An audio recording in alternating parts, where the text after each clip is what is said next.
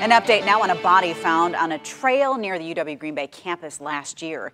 Pedro Santiago Marquez appeared in court today for a preliminary hearing. He's charged with first degree intentional homicide. A judge ruled the statement met the burden of proof and his arraignment is set for March 7th.